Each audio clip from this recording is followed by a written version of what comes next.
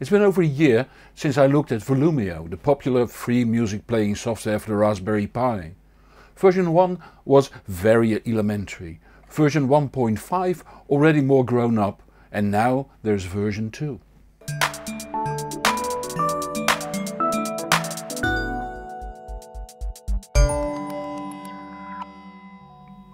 Volumio from the first day on is basically a user interface for the MPD player, the music player daemon that is a rather standard music player in many Linux distros. But to have it perform well on the first gen Raspberry Pi, the Volumio team also undressed Linux to the minimum needed to run as smooth as possible. It is intended as headless, meaning it runs without a monitor, keyboard and mouse attached. Just install the Volumio software on the microSD card of the Raspberry Pi 2B or 3B, mount a DAC or digital I.O. board to the Pi and plug it in. Apart from some flashing LEDs on the boards nothing will happen. You use a browser on a computer, tablet or smartphone to operate Volumio. Simple and again free. Now let's see how it works. You need a Raspberry 2B or 3B. It does run on a 1B but just barely. There are also versions for other small computers like the Odroids, the CuBox-i and even x86 and x64 computers that would normally run Windows. Make no mistake, there is no Windows version, but there is a version that runs on the same hardware as Windows. And to make it even more complex you can use a computer running Windows to control Volumio since any HTML browser will do. But as said we are going to use the Raspberry Pi since it's cheap and especially the Pi 3 is more than fast enough. You can use the audio output of the Pi that is combined with the composite video output on a special 3.5mm jack. I wouldn't bother, both audio and video are of extremely sad quality. If you use an AV receiver that has an HDMI input you can use the HDMI output of the Pi. In all other cases you should really use a better sound card. I use the HiFi Berry DigiPlus card that outputs SPDIF so I can use a quality DAC. I also used the HiFi Berry DAC Plus in my set 3. You could also use a USB DAC connected to one of the USB outputs of the Pi, but using an SPDIF board gives a better result. You need a 4GB or more microSD card and you must download a so-called image from volumio.org that is suited for the microcomputer you are going to use. In my case that's the Raspberry Pi. If you use a Windows computer to copy the image to the SD card, you also need a free program Win32 Disk Imager. For the Mac, Volumio suggests Etcher, but since I'm used to ApplePi-Baker I use that. It works exactly the same as Win32 Disk Imager. You first select the SD card you will copy the image to, then select the image and start the process. When it's done you remove the microSD card from your computer, put it in the microSD slot of the Raspberry Pi and connect the power supply to start up the Raspberry Pi.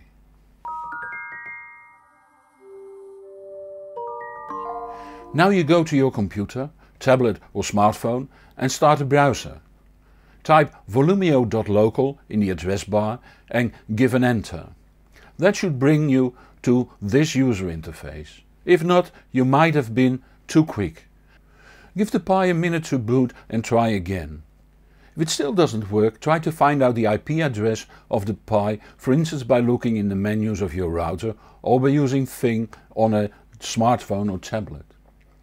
Fing is available for Android and iOS and you'll find it on fing.io. See the link below this video in YouTube. When you have found the IP number, just type http colon slash slash followed by the IP number of the Pi. This will learn your router where to look for volumio.local the next time. Let's first tell Volumio where to find the music. If you connect a hard disk directly to the Pi you can skip this.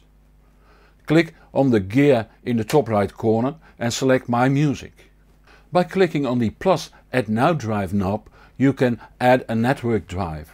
Normally this will be a CIFS drive, also called Samba, but Network File System NFS for short is also supported. If necessary you have to specify a username and password too. If all went well you will see the volume is checked below mounted. It will automatically be indexed. The next thing is to define the output. In the menu go to playback options.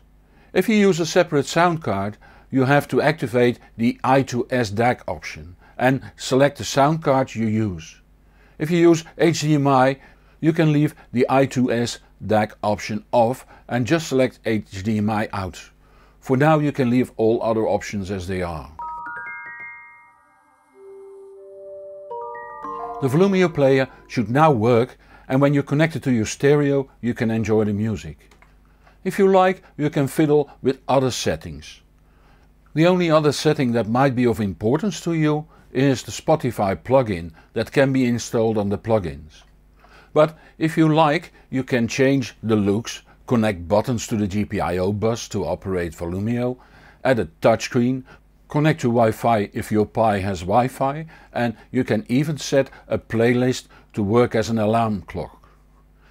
A very good improvement on the first iteration is the update function.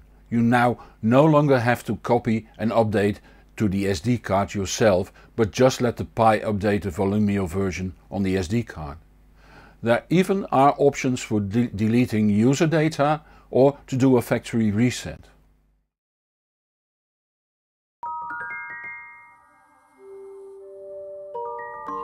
Once the indexing of your music is ready, you're set to go.